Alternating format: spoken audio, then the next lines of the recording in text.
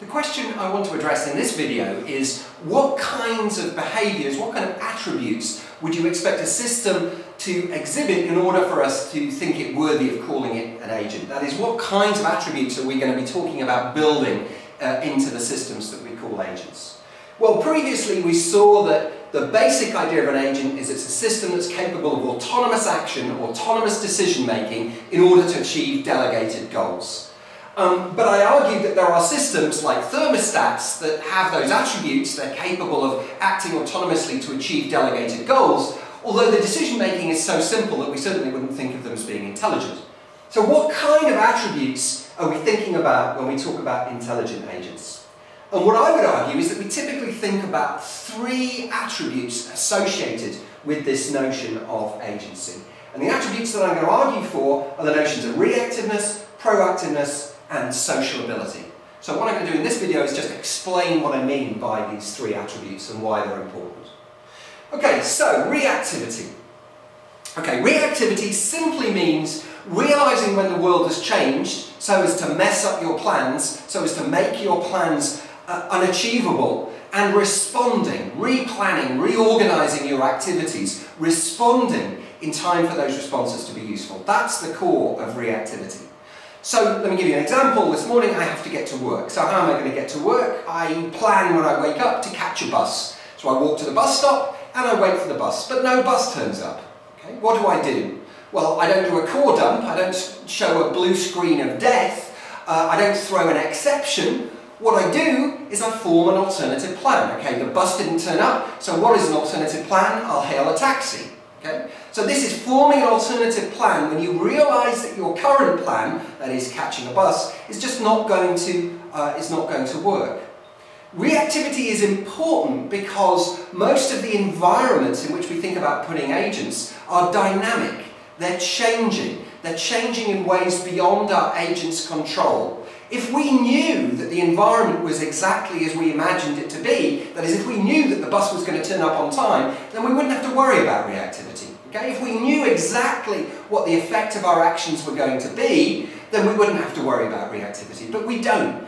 Things change in ways beyond our control, and sometimes the actions that we perform don't have the consequences, the effects that we would like them to have.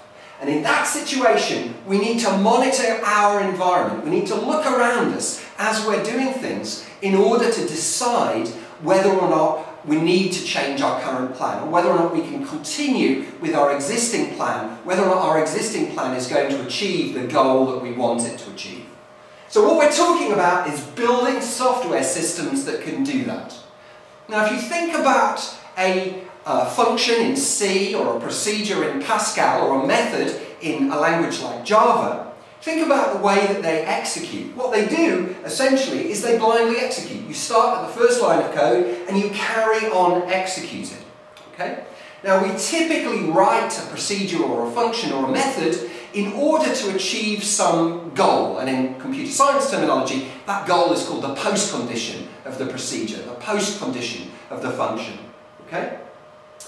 What our procedure doesn't do, what our method doesn't do is it's executing, is stop and look around and say, am I still going to accomplish my post condition? Okay? Am I still going to achieve the goal that I was written to achieve? But actually, if you think about us in real life, that's exactly what we do. As I'm executing my plan to get to work, I stop and I look around. Is this going to work, or do I need to replan? Okay, so those are the kinds of capabilities that we're thinking about when we think about reactivity. The idea of stopping, looking around you, deciding whether or not your current plan is going to have its desired effect. And if not, then responding to those changes in time for them to be useful.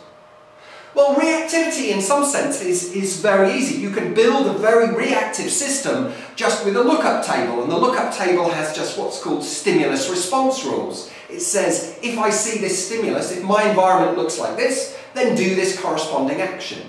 And in order to decide what to do, all you have to do is go down the lookup table until you find a situation that matches your current, until you find a, a left-hand side on that lookup table that matches your current situation, and then perform the corresponding action. And it's computationally easy to do. But actually, uh, that will give you reactivity, that will give you reactive agents, but actually the point is we want agents to do things for us. We want them to achieve our delegated goals. And this kind of stimulus response type behaviour is not the most effective way of building uh, uh, such agents, agents that can exhibit goal-directed behaviour. So when we talk about proactiveness, what we mean is exhibiting goal-directed behaviour, capable of working towards a goal, being delegated a goal and then deciding how best to try to achieve that goal. That's what we mean by proactiveness. We mean goal-directed behaviour. So we've got two properties so far, reactiveness and proactiveness. Reactiveness, realising when the environment's changed, modifying your behaviour accordingly, so you're still going to achieve your delegated goal. Proactiveness, systematically working to achieve your goals. Okay? Well, uh, if, you, if you've ever worked in uh, an environment with a manager, okay, where somebody's been managing you, you will realise that managers come in two flavours. There is reactive manager and proactive manager. And what reactive manager does is he continually responds to events and is never capable of setting the agenda and never manages to achieve anything just because every day when you get into the office they've got a new plan, they've got a new direction, they're going somewhere different. Okay, and that's reactive manager.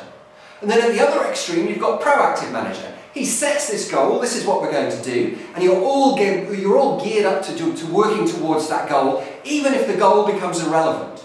Okay? Even if it becomes irrelevant or unachievable. Okay? So what we value in human managers is the ability to get a good balance right between being reactive and proactive.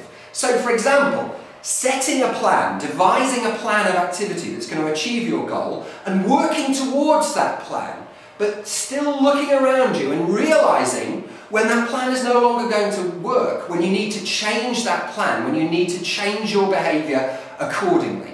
Okay? So getting a good balance right between being reactive, that is responding to changes in your environment, and between being proactive, that is exhibiting goal-directed behavior. Now, this is something that people don't find it easy to do, right? If you, and if you've ever worked with reactive and proactive manager, you will appreciate the limitations of those two extremes of behaviours. So it's, it's a property that we value highly uh, in humans when they can get that balance right between being reactive and proactive. What we're going to be talking about is building software that can be both reactive and proactive. So just as it's, it's not easy to build to have humans that have those kinds of attributes, it's not so easy to build software that has them. But we will see some of the main approaches that have been developed to building software with those attributes. Then the final property I want to talk about is social ability. So in a sense, social ability is trivial for computers, right? Because everything's connected to the internet these days, and social ability is just communicating. But uh, when we talk about social ability in multi-agent systems, we're talking about something richer than that. We're not just talking about exchanging bits, getting a bit from one agent to another, from one system to another. We're talking about the kinds of social ability that we have as humans. Okay? The ability to, not just to communicate in terms of exchanging bits, but the ability to coordinate, to negotiate and to cooperate with other agents. That is, when you have a goal which is shared with another agent, then the ability to cooperate with them, to work with them to try to achieve that goal. When you need to reach agreement on a matter of common interest, the ability to negotiate, to have software agents that can negotiate with other agents. Okay? Those are the kinds of social ability that we are talking about. And this is particularly important if we think that the delegated goals that our agents have are in some sense in conflict with one another. That is, they're different goals. In situations like that, then you need the ability to negotiate, to reach an agreement on some disputed matter. Okay, so the kinds of ability then, in order for an agent to be uh, what we'll call an intelligent agent, although I'm aware that the term intelligent here, we need to wrap that in scare quotes a little bit, the three key behaviours are reactive, proactive and social. Reactive, capable of realizing when the environment has changed and responding, modifying your behavior accordingly.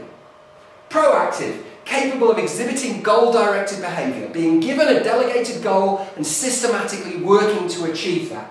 Getting a good balance right between being reactive and proactive. Okay? And then finally, social ability, the ability to cooperate, coordinate and negotiate with other software agents.